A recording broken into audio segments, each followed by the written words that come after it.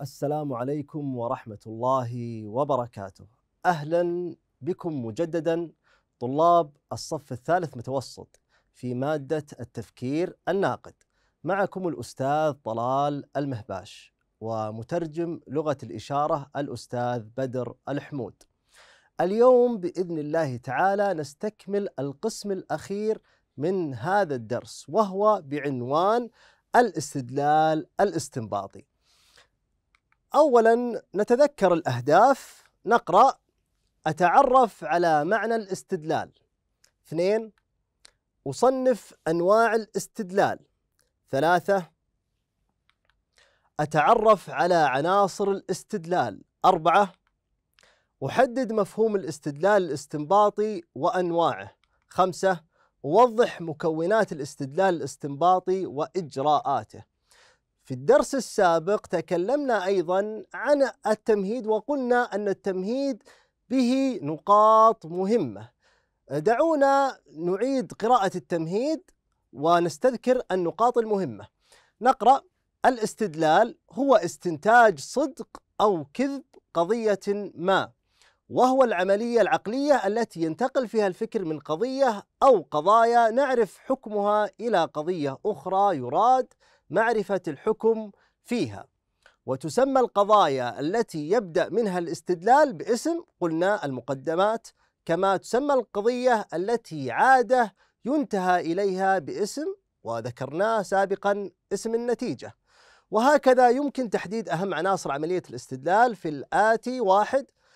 مقدمة أو مقدمات يستدل بها على صحة النتيجة وقلنا نتيجة تترتب عن هذه المقدمة أو المقدمات وقلنا أيضا ثلاثة علاقات أو علاقات منطقية تربط بين هذه المقدمات وبين النتيجة التي تلزم عنها. وأخيرا عدة قواعد يعتمد عليها أو يعتمد عليها التفكير في انتقاله من المقدمة أو المقدمات إلى النتيجة.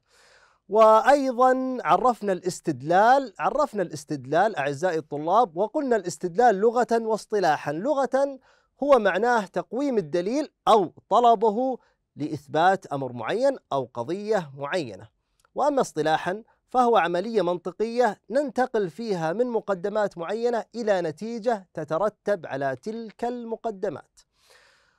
وتكلمنا عن الاستدلال الاستنباطي. لدي سؤال. الاستدلال الاستنباطي.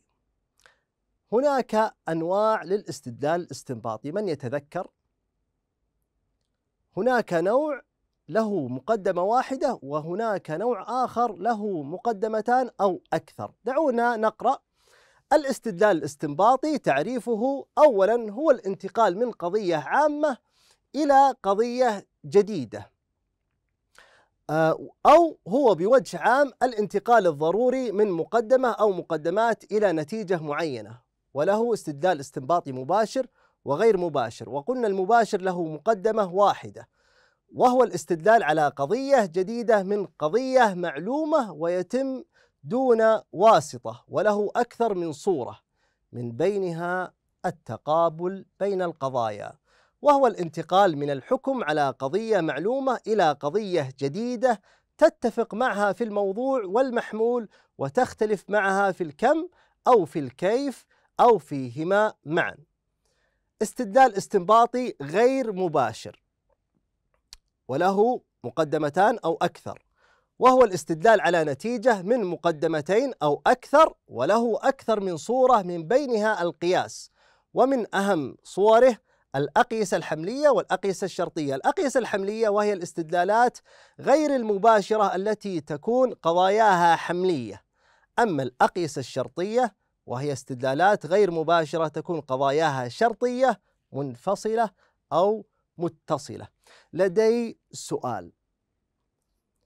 نقرأ هذا السؤال بتمعن ومن ثم نحاول نستذكر ما تعلمناه ونحاول أن نجيب على هذا السؤال. أولا دعونا نقرأ لكل المخلوقات ذوات العشرة أرجل أجنحة. المقدمة الأولى المقدمة الثانية لكل العناكب عشرة أرجل. النتيجة لذا؟ لكل العناكب أجنحة. المقدمة أو المقدمة الأولى والثانية كاذبة. لماذا؟ عندما نقول لكل المخلوقات ذوات العشرة أرجل أجنحة هل جميع المخلوقات التي لها عشرة أرجل لها أجنحة؟ المقدمة الثانية لكل العناكب عشرة أرجل هل للعناكب عشرة أرجل فعلا؟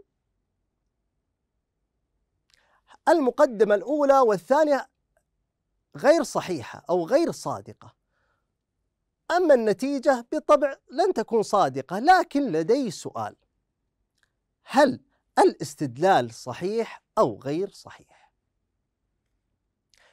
تعلمنا في الاستدلال الاستنباطي قد يكون صحيح حتى لو كذبت المقدمات.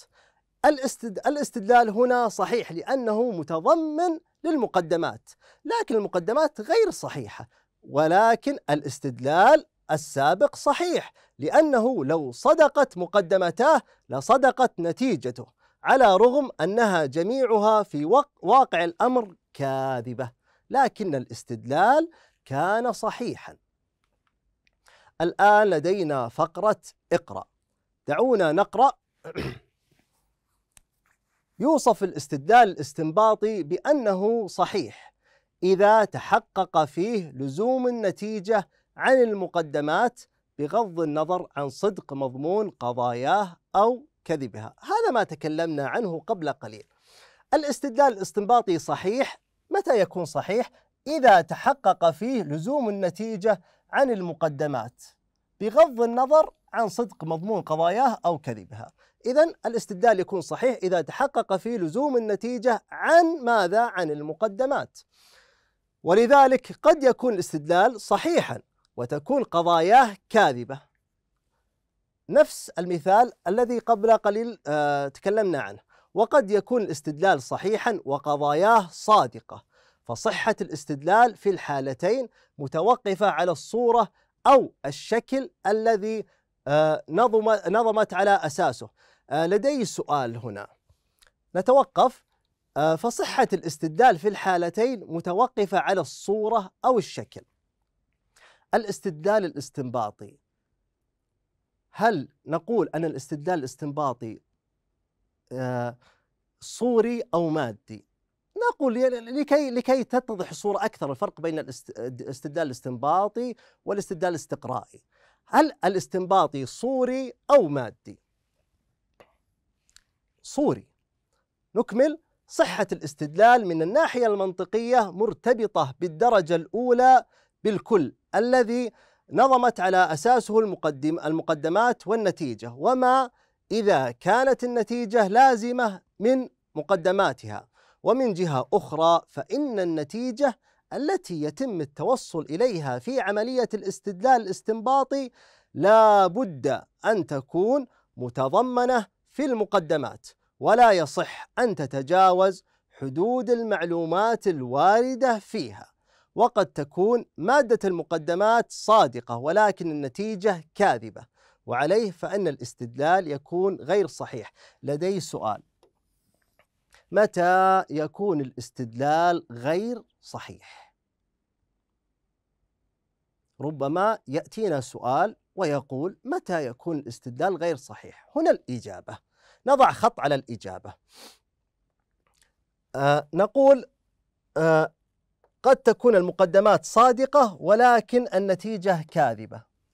هنا يكون الاستدلال غير صحيح. إذا كانت المقدمات صادقة والنتيجة كاذبة وعليه فإن الاستدلال يكون غير صحيح. لدينا فقرة أتذكر نقرأ القضايا المتقابل المتقابلة. هي القضايا التي تتفق في الموضوع والمحمول وتختلف في الكم أو الكيف أو في الكم والكيف معا نعيد هي القضايا التي تتفق القضايا المتقابلة هي القضايا التي تتفق في الموضوع والمحمول وتختلف في الكم أو الكيف أو في الكم والكيف معا ما معنى هذا الكلام؟ هل تتذكرون أعزائي الطلاب عندما تعلمنا في الدروس السابقة مربع تقابل القضايا أو مربع أرسطو دعونا نلقي نظرة على ذاك المربع لكي تتضح الصورة أكثر. هذا هو مربع تقابل القضايا الذي تعلمناه في الدروس السابقة. هذا المربع باختصار لديه أربعة رؤوس أو أربعة زوايا كل زاوية تتقابل مع الزاوية الأخرى إما بالتضاد أو دخول تحت التضاد أو التداخل أو التناقض. لنتكلم بشكل أكثر دقة. دعونا نقرأ. كل الطلاب عباقرة. هذه قضية كلية موجبة. كل إذا كلية. عباقرة موجبة. نرمز لها بكاف ميم يعني كلية موجبة. كاف ميم كلية موجبة. ننظر هنا كل الطلاب ليسوا عباقرة كل الطلاب كلية. ليسوا عباقرة سلبية. إذا نرمز لها كاف سين كلية سلبية. إذا الموضوع هنا كل الطلاب والمحمول عباقرة. الموضوع هنا كل الطلاب والمحمول ليسوا عباقرة. هنا بعض الطلاب عباقرة بعض الطلاب. إذا كلية لا. بعض الطلاب جزئية. إذا جزئية موجبة بعض الطلاب جزئية عباقرة موجبة. جيم ميم جيم ميم. هنا جزئية سالبة بعض الطلاب ليسوا عباقرة بعض الطلاب جزئية ليسوا عباقرة سلبية. جيم سين. الآن نأتي إلى القضايا المتقابلة. كيف نقول أنها آه، تختلف في الكم أو الكيف أو في الكم والكيف معا. هنا كاف ميم كلية موجبة. هنا كاف سين كلية سالبة. اتفقوا في ماذا؟ في حرف الكاف في الكمية في اتفقوا في الكم. واختلفوا في ماذا؟ اختلفوا في الكيف. عباقرة ليسوا عباقرة. إذا اتفقوا في الكم. كل الطلاب كل الطلاب كل الطلاب كل الطلاب. أما هنا العلاقة بين كاف ميم وجيم ميم يختلفون في ماذا؟ كاف وهنا, وهنا جيم. كل الطلاب بعض الطلاب. أحسنتم يختلفون في الكم ويتفقون في الكيف عباقرة. طيب من يأتيني من يأتيني بعلاقة بين قضيتين يختلفون في الكم والكيف؟ أحسنتم أحسنتم. عندما نقول كاف ميم تختلف في الكم والكيف مع جيم سين. كاف كلية تختلف مع جيم جزئية وموجبة آه، ميم موجبة تختلف عن سين سالبة. وهنا تكون علاقة تناقض. هذا هو مربع مراجعة سريعة لمربع تقابل القضايا. دعونا الآن نقرأ الاستدلال المباشر. الاستدلال المباشر نوع من الاستدلال ينتقل فيه من قضية إلى قضية أخرى ومن أهم أنواعه الاستدلال عن طريق التقابل بين القضايا. هذا هو الاستدلال المباشر. الآن أعزائي الطلاب دعونا ننتقل إلى فقرة أتدرب. نقرأ. إذا كانت المقدمات التالية تقود إلى نتيجة صادقة. اكتب النتيجة في الخانة المخصصة لذلك. وإذا كان لا يترتب عليها التوصل إلى نتيجة صادقة اكتب السبب في ذلك. إذا إذا كانت تقود إلى نتيجة صادقة نكتب النتيجة في الخانة المخصصة. وإذا كان لا يترتب عليها التوصل إلى نتيجة صادقة نكتب السبب في ذلك. طيب الآن لدينا هذا الجدول آه المقدمات وسبب عدم التوصل إلى نتيجة. دعونا نقرأ ونشاهد. حتى يكون الطالب مؤهلا لدخول كلية الطب في الجامعات الحكومية السعودية. فيجب أن يحصل على درجات عالية في الشهادة الثانوية. وأحمد قبل في كلية الطب بإحدى بإحدى الجامعات السعودية.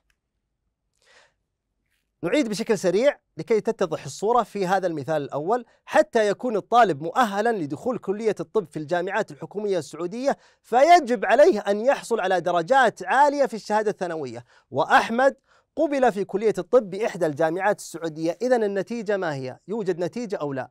بالطبع يوجد نتيجة. إذا أحمد حصل على درجات عالية في الشهادة الثانوية.